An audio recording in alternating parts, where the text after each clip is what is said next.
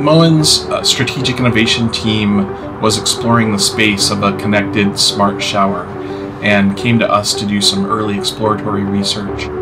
One of the biggest challenges was the fact that Moen has such a long, wonderful history in hardware manufacturing, but not in the digital space.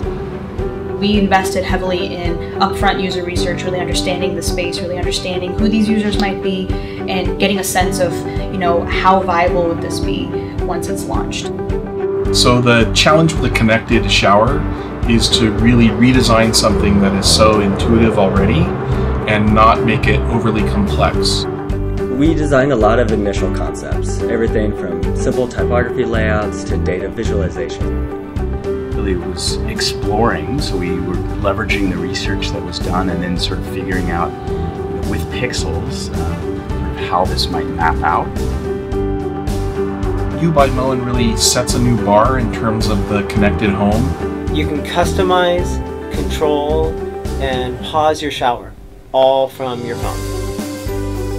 One of my favorite features is when the color changes as the shower warms up. It's a wonderful visual indicator of what the temperature is. The U by Moen shower uh, fits into the evolution of smart home technology as it's the first.